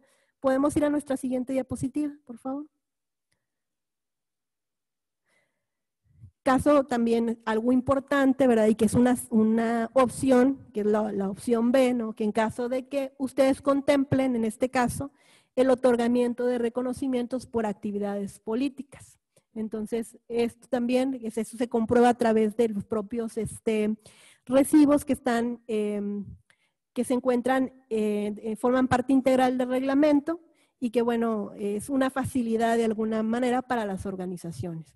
Establece también nuestro reglamento criterios específicos para gastos de viaje y para viáticos no comprobados. Bueno, en el caso de los, de los viáticos este, no comprobados, pues obviamente prácticamente eh, formarán parte de la prestación que se le dé al, personal que se le otorgaron los viáticos y pues tendrá que grabar. Entonces es muy importante que quienes salgan de comisión pues efectúen la comprobación correcta y completa de los propios viáticos. ¿Podemos ir a la siguiente diapositiva, por favor? Bien, en, eh, otro de los conceptos por los que se puede erogar son materiales y suministros y servicios eh, generales. En el caso de estos conceptos, y bueno, voy a referirme, por ejemplo, materiales y suministros, pues puede, eh, ustedes lo van a ver en el, si ustedes este, tienen acceso, por ahí está ya publicado, prácticamente está en, el, en, el, en fecha 14 de diciembre, es el acuerdo 87, si mal no recuerdo, el propio reglamento de fiscalización. Este, por ahí pueden ustedes ver lo que es el, catálogo de cuentas ¿Y qué contempla materiales y suministros? ¿Qué contempla servicios generales? Y pues también adicionalmente se, brinda una guía contabilizadora para que ustedes este, puedan utilizarla y obviamente este, les sirva, les sea de ayuda al momento de contabilizar, ¿no? que pues prácticamente sería parte de la contabilidad que tendrían que llevar las organizaciones ciudadanas. Y bueno, en este caso voy a poner un ejemplo de materiales y suministros, pues eh, lo más común pues es la papelería, esta papelería que ustedes compren este, para realizar sus propias actividades de constitución, eh, pues tendrán que estar respaldadas en este caso por las facturas, este, por las muestras correspondientes. En este caso, si, eh, caso de servicios generales, pues por ahí hablábamos y, eh, comentábamos el caso concreto de lo que es, son los arrendamientos, por ejemplo, los arrendamientos de, en este caso, de un equipo de sonido o es otro tipo de arrendamiento, ¿no?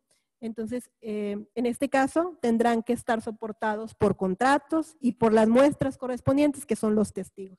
Entonces, eh, las erogaciones que se efectúen y registren contablemente con cargo a estas cuentas, ya sea la de materiales de suministro, la de servicios generales, tendrán que ser agrupados en cuentas y subcuentas eh, por concepto, por el, tipo de gasto de que se trate, deberán ver, tendrán anexo su comprobante, ya sea que sea una factura o que pueda ser una cotización. Eh, en este caso, si, si, por ejemplo se tratara de una aportación en especie y fuera, por ejemplo, el equipo, lo del equipo de sonido, pues tendría que tener en este caso eh, el contrato este, de comodato, quizás si lo están otorgando por un tiempo, eh, y la muestra correspondiente, que es la fotografía del propio bien. Eh, o si en su momento, si se compra papelería, por ejemplo, que es algo más común, pues la factura correspondiente. Así tendrán que estar soportados, deberán cumplir, obviamente en el caso de las facturas, con los requisitos que señala el artículo 29 y 29A del Código Fiscal de la Federación. Bueno, me, comentan que eh, vamos, tenemos contemplado un pequeño receso de 15 minutos, si les parece. Y pues, este, son las 12.28, 12 y media. No sé si podamos continuar a las 12.45. Muchas gracias.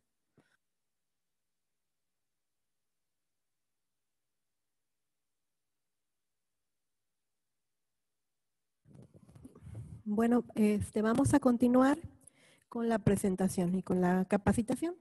Muy bien, eh, para continuar podemos ir a la siguiente diapositiva, por favor.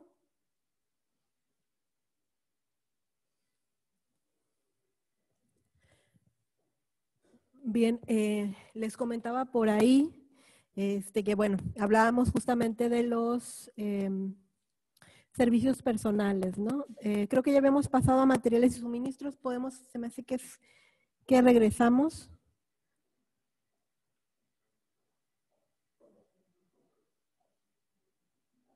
Ahí, muy bien. Eh, Podemos ir ahora hacia la siguiente. Muy bien. Otro de los rubros, este, que, en los que pueden incurrir eh, en erogaciones las organizaciones de ciudadanos y que bueno, es un rubro muy común, bastante común, son los gastos de propaganda, ¿verdad? En este caso, eh, y es muy es importante porque hay reglas muy específicas, las organizaciones de ciudadanos tienen la obligatoriedad de celebrar contratos, eh, en este caso, en el caso de que haya erogaciones por concepto de propaganda, en todos los casos, en cualquier modalidad de propaganda, en, por cualquier monto. Es decir, hablo de modalidades, por ejemplo, el mismo reglamento así lo contempla, en el caso de que se contrate algún espectacular, de que se contrate a la mejor propaganda que es utilitaria, o sea, por ejemplo, el, el hecho de, perdón,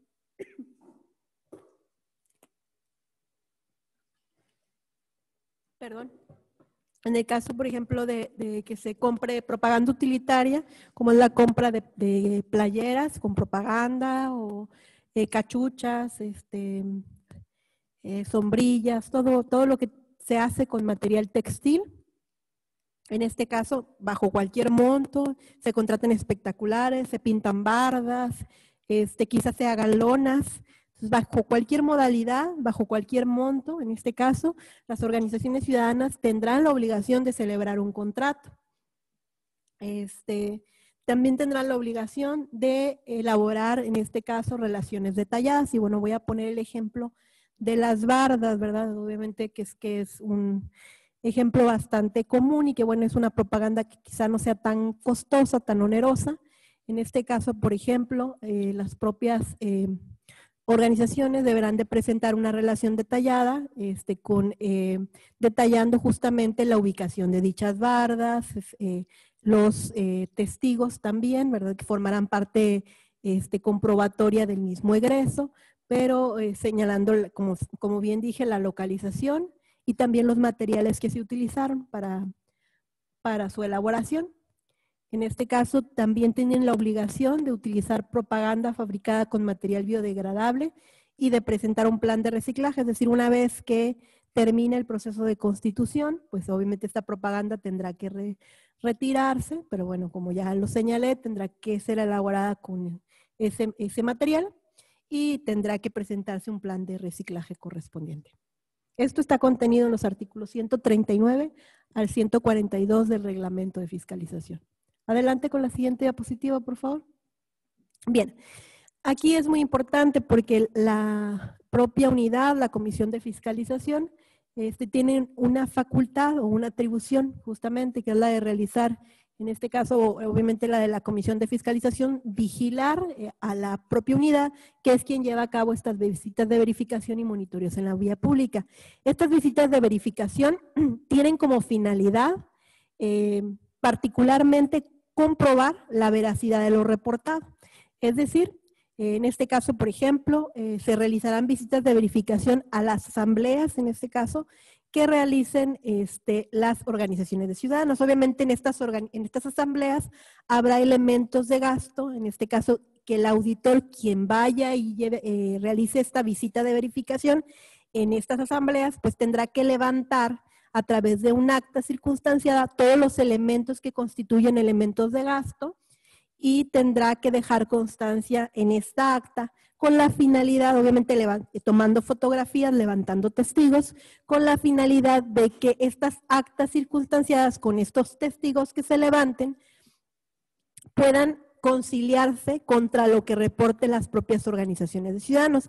Es decir, a partir de ahí nosotros revisaremos que lo que registran las organizaciones ciudadanas pues sea veraz, ¿no? Que obviamente corresponda a lo que nosotros podemos observar en, las propias asambleas. Y hablo de elementos de gasto, por ejemplo, voy a ser a lo mejor redundante, pero pues son los equipos de sonido, este, la renta de mobiliario, por ejemplo, de sillas, este, de mesas que pudieran llegar a requerirse en las asambleas, la propia propaganda que podamos observar en las asambleas, inclusive en las zonas aledañas a las asambleas, también se realizarán monitoreos en vía pública. Entonces, de todo esto, se levantará, como ya lo señalé, un acta circunstanciada este, que contendrá fotografías. Obviamente, este, esta acta circunstanciada también se le entregará en este caso a la propia este, organización, ¿verdad? Para que haya certeza en los actos que realiza, en este caso, este, el propio instituto para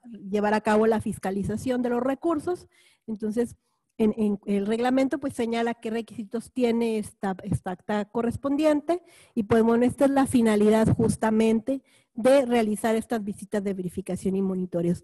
Eh, en esta parte pues se le va este, a em, notificar a las organizaciones eh, ciudadanas quién será el personal por parte de la unidad de fiscalización, quién será el personal este, encargado de eh, ir y realizar estas visitas de verificación. Adelante, por favor, con la siguiente.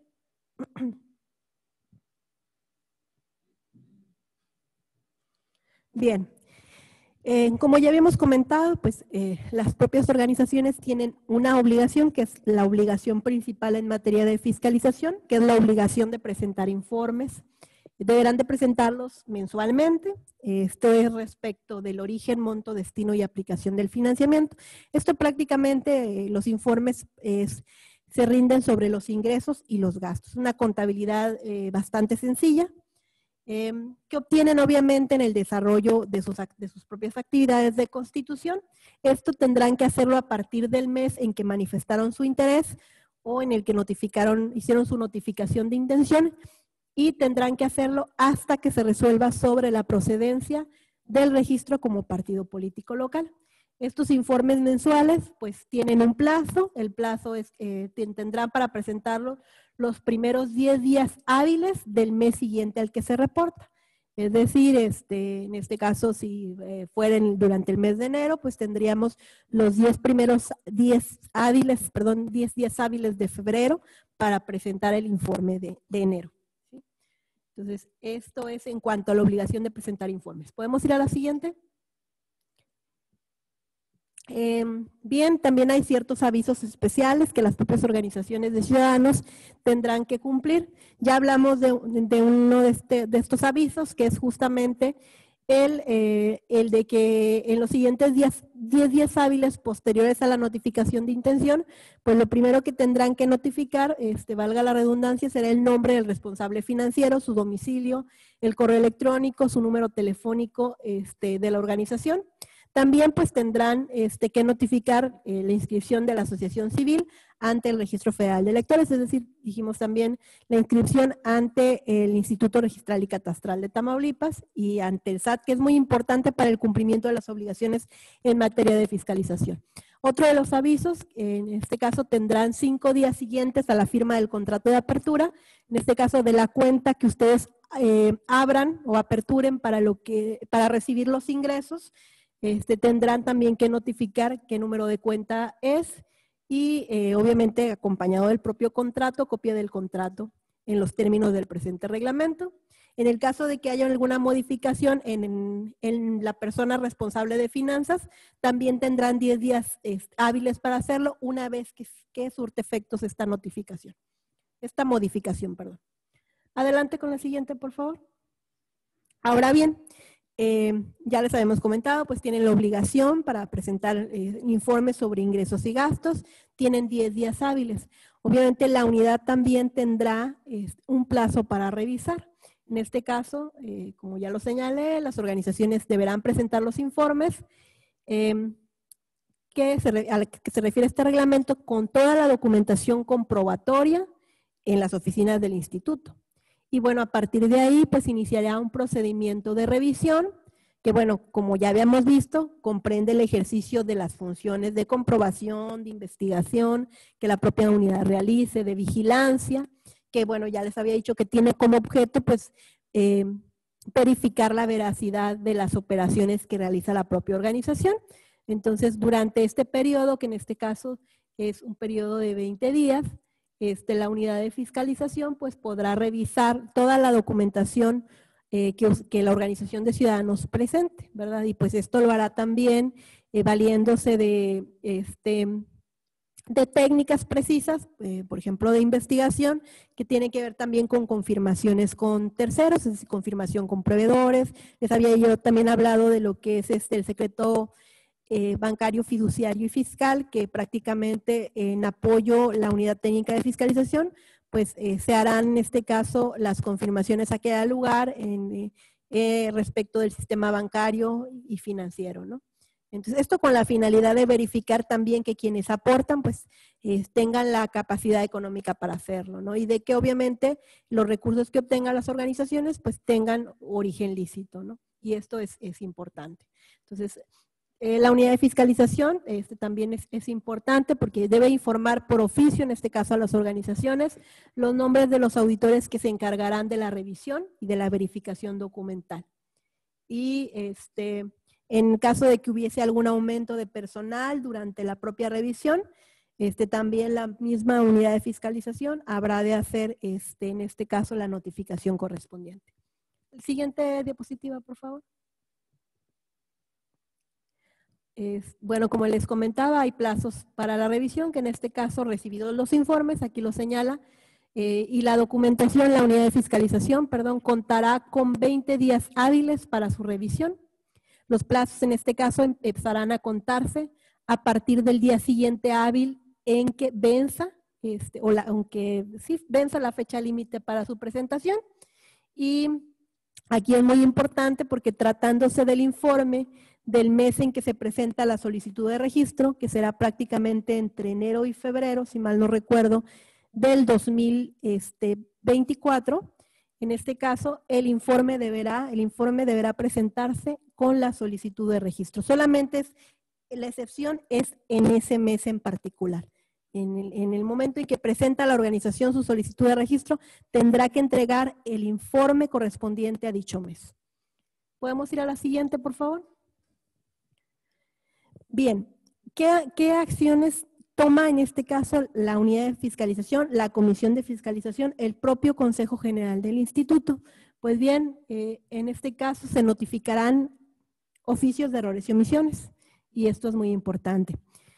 Estos oficios de errores y omisiones tienen como finalidad hacerles saber a las propias organizaciones cuáles, pues obviamente su nombre lo indica, no son los errores u omisiones en los que ha incurrido. Entonces, aquí es importante porque a partir de aquí también las organizaciones ciudadanas contarán con un plazo para presentar eh, aclaraciones perdón, a los propios errores y omisiones que eh, les presente la unidad de fiscalización. Entonces, ¿qué se contempla? Se contempla la elaboración de un oficio de errores y omisiones respecto de cada mes, respecto de cada informe mensual que se presenta. Entonces, en este caso, durante los informes, prácticamente una vez que vence el plazo, la unidad tendrá sus 20 días este, para revisar y obviamente al vencimiento de esos 20 días tendrá que notificar a la propia organización de ciudadanos un oficio que contendrá, este, eh, rebobinando los errores y omisiones y la propia organización tendrá su periodo para presentar aclaraciones. También contempla la generación de un oficio de errores y omisiones de seguimiento.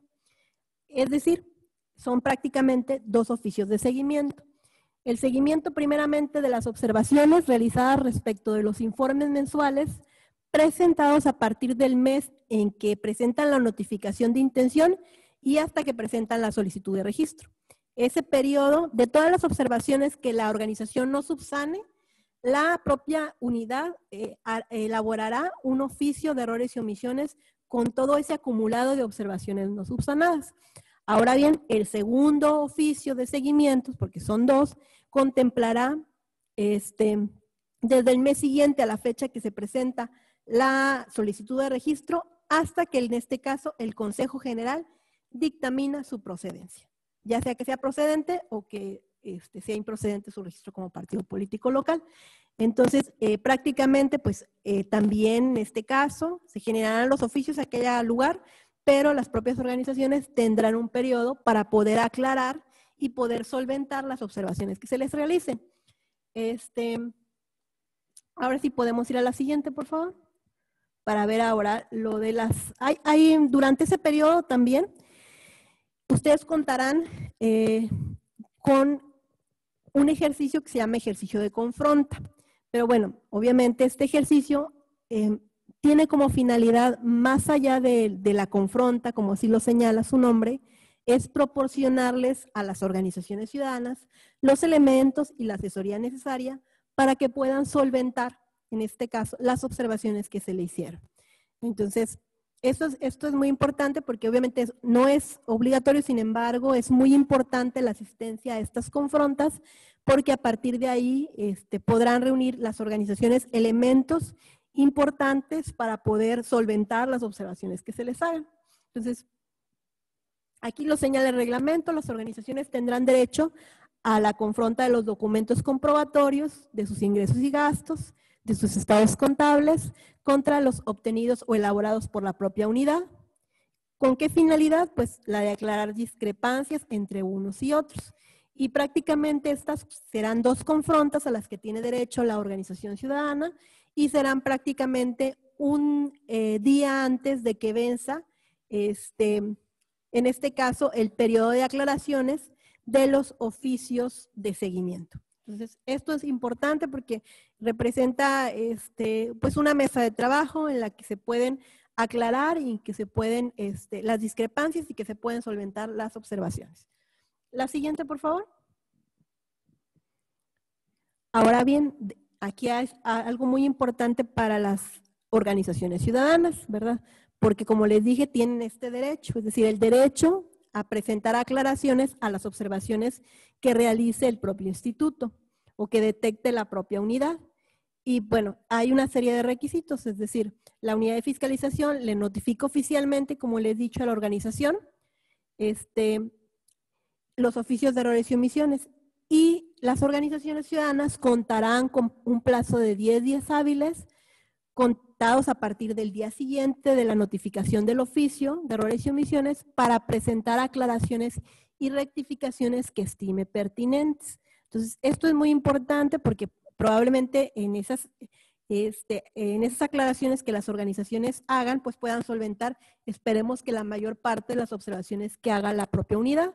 Y obviamente las que no se subsanen, como les digo, se irán acumulando y también se les dará seguimiento a través del oficio de errores y omisiones de seguimiento, el que corresponde. Entonces, eh, vaya, eh, hay oportunidad para que en caso de que haya incumplimientos pueda solventarse estas situaciones, ¿verdad? Y que obviamente durante este periodo se les estará ofreciendo la asesoría, es importante que lo, remarquemos, la asesoría que requieran para poder este, cumplir este, cabalmente con las obligaciones este, en materia de fiscalización.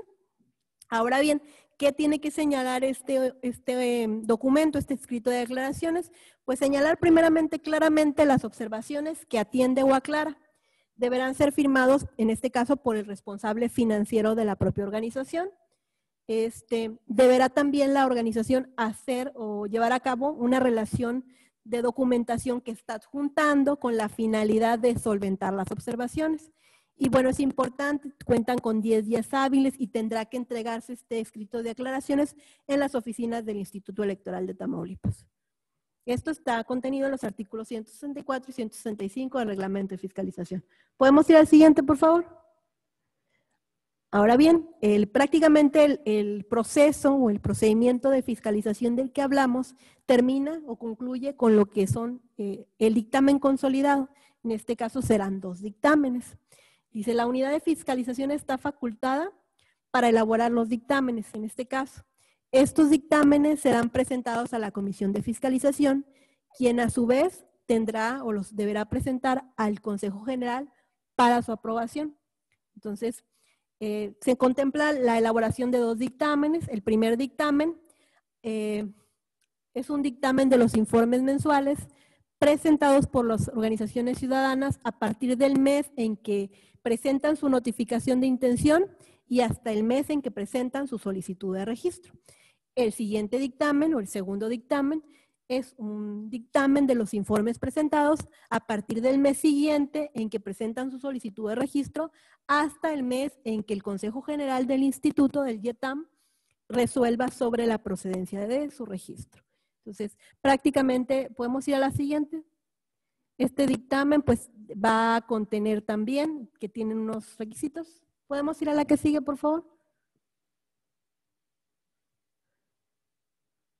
Es, esto es lo que debe contener los dictámenes. Pues prácticamente es el resultado de las conclusiones de los informes que presentan las organizaciones eh, ciudadanas, así como de las auditorías que se practicaron.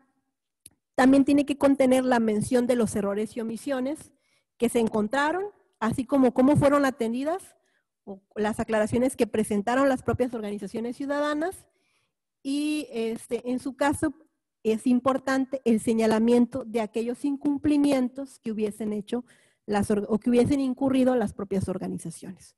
Entonces, esto es muy importante, sobre todo esta parte, los incumplimientos, y tenemos que tenerlo este, claro porque finalmente es muy importante considerar toda la gama de reglas que hay para que este, tengamos el conocimiento y evitemos justamente estos incumplimientos. Y que bueno, aparte, pues, em, que realmente eh, utilicemos todos los mecanismos que se ponen a su disposición, que prácticamente son las asesorías, las confrontas, los escritos de aclaraciones, con la finalidad justamente de solventar. Este, si no es así la totalidad, pues sí la mayoría de las observaciones o que, realice en este caso el instituto. ¿Podemos ir a la siguiente, por favor? Eh, el plazo para la elaboración del dictamen, eso también es importante, pero prácticamente es un plazo para el propio instituto. Una vez vencido el plazo para la elaboración de manifestaciones y documentales que en su caso presenta la organización, hablamos del escrito de aclaraciones y dentro del último informe mensual correspondiente, la unidad de fiscalización dispondrá de un plazo de 20 días, en este caso, para emitir los dictámenes correspondientes que comprenden la totalidad de la revisión efectuada. Prácticamente la revisión o el producto final de la revisión y del procedimiento de fiscalización es el dictamen. ¿Podemos ir a la siguiente, por favor? Bien, eh, aquí también es muy importante, y yo creo que con esto vamos a concluir, respecto a las vistas e infracciones, porque como les comentábamos, el dictamen pues contiene ya eh, una relación de los incumplimientos, pero ¿qué pasa después? Entonces, eh, si hay incumplimientos, y aquí lo señala muy este, claramente el reglamento, en caso de que durante la revisión de los informes o en la elaboración de los propios dictámenes se advierta algún incumplimiento en los que hubiera incurrido la organización, en este caso se dará vista a la propia Secretaría Ejecutiva del Instituto para que por su conducto y previo análisis se determine el inicio o no de un procedimiento sancionador a que haya lugar, ¿verdad? Esperemos que no, ¿verdad? Que prácticamente puedan despejarse todas las, eh, todos los errores o las omisiones que se hagan en el transcurso de la revisión y que no existan este, en algún momento infracciones.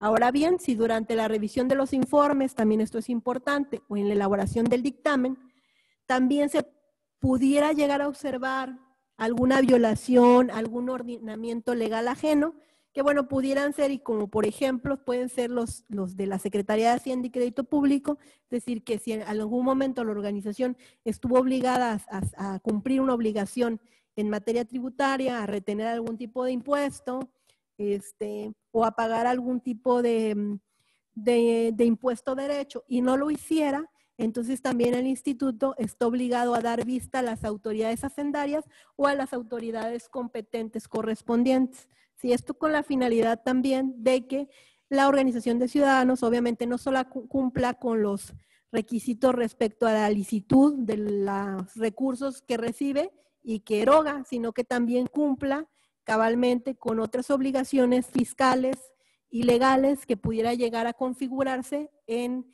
este, en el ejercicio de su constitución como, como un partido político local. Entonces, eh, las infracciones prácticamente serán las que este, señalen en este caso el régimen sancionador correspondiente. Así que prácticamente, este, por ahí lo señala el 170 y 171, pero que está contenido en la ley electoral del Estado de Tamaulipas. ¿Podemos ir a la siguiente, por favor? Bien, pues aquí prácticamente termina y se agotan los temas que fueron este, detallados para esta capacitación que tiene como finalidad este, em, pues prácticamente eh, proporcionarles em, una introducción a lo que son los temas del cumplimiento, de las obligaciones eh, de carácter, este, carácter fiscalizador, ¿no? en materia de fiscalización, y que tendrán que cumplir, en este caso, las organizaciones ciudadanas en su proceso de constitución. Y pues bueno, eh, aquí abrimos en este caso una, una sesión de preguntas y respuestas. No sé si alguien eh, tenga alguna duda. Que, o que, quiera tomar la voz.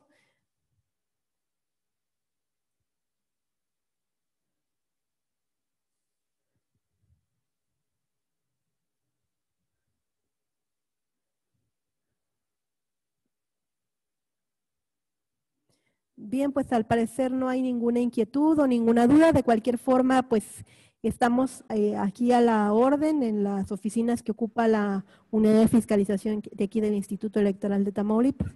Y si no hubiera dudas, entonces daría este paso en este caso al mensaje de despedida que tiene la consejera presidenta este, de la Comisión Especial de Fiscalización.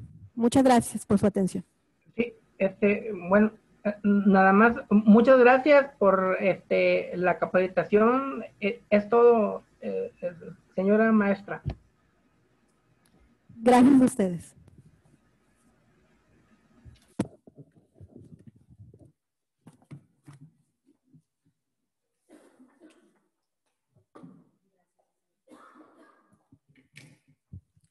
Gracias, gracias. Buena tarde a todas y todos. Agradezco primeramente a la maestra Isabel Tobar de la Fuente, eh, titular de la Unidad de Fiscalización, Planeación y Vinculación con el INE aquí en el Instituto Electoral de Tamaulipas, por toda la información que nos ha compartido esta mañana en esta sesión de capacitación relacionada con la introducción al reglamento de fiscalización y bueno, en el cual nos ha compartido respecto de diferentes temas relacionados con los lineamientos, con los formatos, con el catálogo de cuentas, relacionado con el registro de ingresos, de egresos, así como de la documentación comprobatoria sobre el manejo de los recursos y sobre la presentación de los informes del origen y monto de los ingresos que se obtienen para el desarrollo de las actividades de las organizaciones que pretenden constituirse como partidos políticos locales.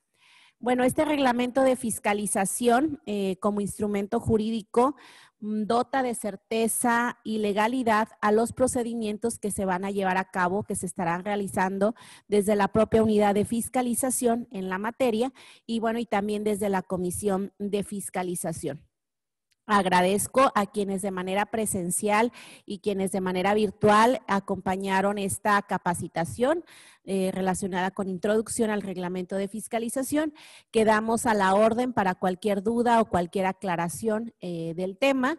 Eh, esta capacitación, esta grabación quedará a, disposición de cada uno y de cada uno de ustedes en las plataformas virtuales del Instituto Electoral de Tamaulipas y bueno, también el equipo de la maestra Isabel queda a la disposición para cualquier duda que pueda ir surgiendo en este, en este tiempo. También vemos la inquietud de algunos de ustedes en el chat en donde están solicitando el material de las diapositivas, el cual también se les hará llegar para que pueda ser consultado con posterioridad. No me resta más que agradecer a nombre de nuestro consejero presidente, el licenciado Juan José Guadalupe Ramos Charre, y de mis compañeras consejeras y compañeros consejeros electorales, a todas y todos quienes, dieron seguimiento a esta sesión de capacitación, reiterándome nuevamente a la orden para cualquier duda o cualquier aclaración. Muchísimas gracias a todas y todos.